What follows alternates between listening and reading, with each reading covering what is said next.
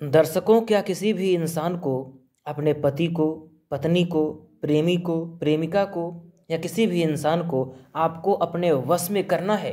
अगर किसी इंसान को आप अपने वश में करना चाहते हैं तो यह वीडियो आपके लिए बहुत ज़्यादा महत्वपूर्ण और उपयोगी होने वाला है। क्योंकि इस वीडियो के माध्यम से मैं आपको एक दिव्य और सटीक टोटके के बारे में बताने वाला हूँ।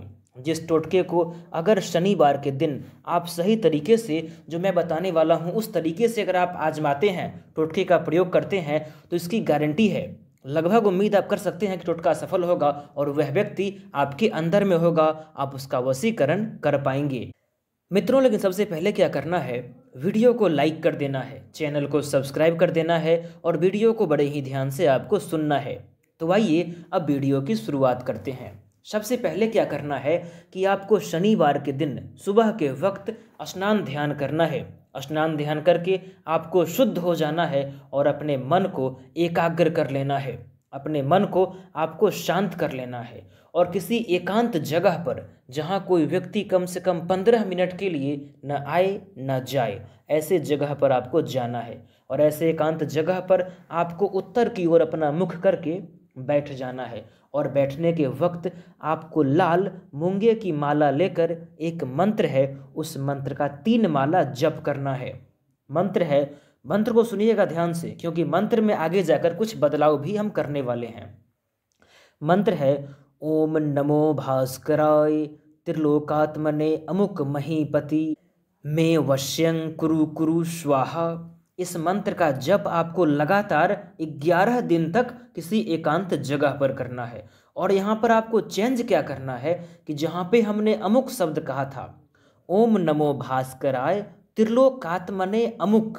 ये जो अमुक शब्द है तो अमुक के जगह पे जैसे मान लो कि जिसको वश में करना है उसका नाम मोहन है। तो यहाँ क्या पढ़ेंगे? ओम नमो भास्कराय त्रिलोकात्मने मोहन महीपति में वश्यं कुरु कुरु स्वाहा।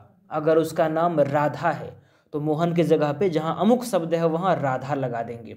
यानी कि अमुक के जगह पर आपको उस व्यक्ति का नाम देना है, जिसको अपने वश में करना है। और ऐसा प्रयोग आपको लगातार ग्यारह दिन तक करना है। जब आप ये कर लेंगे तो यह मंत्र सिद्ध हो जाएगा। लेकिन जब मंत्र को सिद्ध करेंगे, उस वक्त अमुक शब्द का प्रयोग ही करना है। उस वक्त किसी इंसान का नाम आपको नहीं लेना है। क्या पढ़ेंगे? सिद्ध करते टाइम ग्यारह दिन तक, ओम नमो भास्कराय त्रिलोकात्मने अमुक महीपति में वश्यं कुरु कुरु स्वाहा।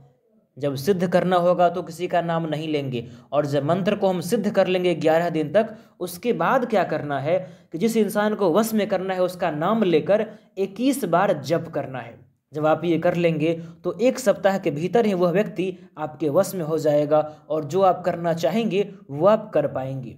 दोस्तों, अगर मन में कोई सवाल हो, कोई प्रश्न हो तो कमेंट बॉक्स में कमेंट कीजिएगा, आपकी सहायता अवश्य की जाएगी। वैसे मैं उम्मीद करता हूँ अब तक आपने वीडियो को लाइक कर दिया होगा एस्ट्रो फॉर यू को सब्सक्राइब कर दिया होगा और वीडियो को हर जगह शेयर कर देना है। तो हमारी आपकी मुलाकात एक नए वीडियो में होगी। तब तक के लिए आप सभी का बहुत बहुत धन्यवाद। जय हिंद, जय बिहार, जय मिथिला।